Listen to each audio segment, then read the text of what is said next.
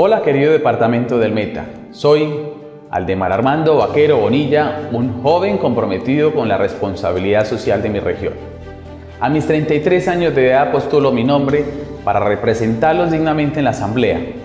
Por eso los invito a reflexionar para que con su amistad, apoyo y confianza intentemos construir un mejor camino para todos, así como lo hicieron con Omar Armando Vaquero Soler, mi padre, que junto a mi madre me enseñaron a amar mi departamento, a creer en su gente y a trabajar con cada uno de ustedes.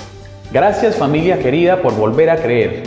De la mano de Dios, de la mano de ustedes, el próximo 25 de octubre elijamos el Partido Conservador número 52. Vota por mí porque tú y yo renovaremos el mito.